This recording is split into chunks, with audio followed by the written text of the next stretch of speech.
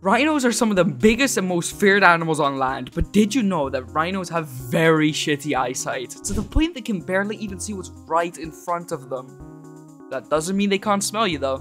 Rhino's sense of smell is so good it has become a way of communication for them. Basically, they just kick their shit around so other rhinos go, oh, whoa, feces.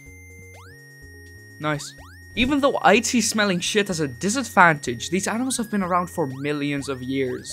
So maybe we should start smelling shit as well.